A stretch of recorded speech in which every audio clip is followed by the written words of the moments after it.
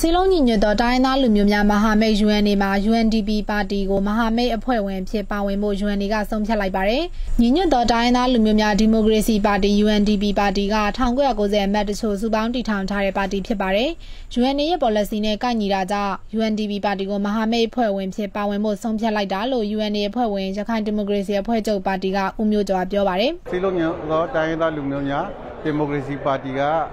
UNA ရဲ့နေပြီးတော့ မူဝါဒကိုလည်းသဘောကျတယ်လက်ခံတယ်သူတို့ဒီဟာလည်းတည်တည်ချာချာလေးလာပြီးနော် UNA ပါတီထဲဝင်ဖို့နော်သူတို့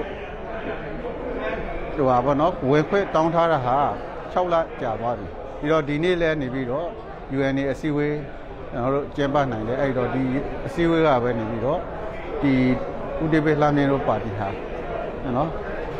UNA ရဲ့ policy နဲ့လည်းကိုက်ညီတယ် ပေါ့နော်အဲ့ဒါကြောင့်လည်းဒီလိုဖွင့်ပေးလိုက်တာစီလုံးညီညွတ်သောတိုင်းသားလူမျိုးများမဟာမိတ် UNA မှာတိုင်းသားနိုင်ငံရေးပါတီ73ပါတီပါဝင်ပြီးမဟာမိတ်ဖြစ်ဖွဲ့စည်းထားတာပါညီညွတ်သောတိုင်းသားလူမျိုးများဒီမိုကရေစီပါတီ UNDP ပါတီကပြည်မမှာတည်ထောင်ထားတာဖြစ်ပြီးဗမာလူမျိုးကလည်းတိုင်းသားဖြစ်တာကြောင့် UNA မှာပါဝင်ဖို့ဆုံးဖြတ်လိုက်တာလို့ပါတီဥက္ကဋ္ဌဦးဒေးဗစ်လှမြင့်ကပြောပါတယ်ကျွန်တော်တို့ကလက်ရှိကျွန်တော်တို့ပါတီဆိုလို့ရှိရင်ဒါတိုင်းရင်းသား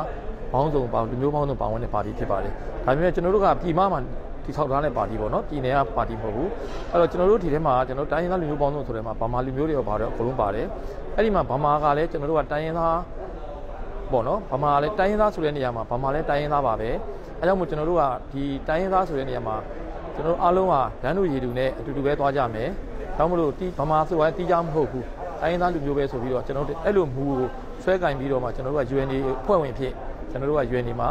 လျှောက်ထားခဲ့တာဖြစ်ပါတယ်။ဒါဒီနေ့ဒီချိန်မှာတော့ UNA ကကျွန်တော်တို့လျှောက်ထားချက်ပုံမှာကြည့်ပြီးတော့သူတို့အားလုံး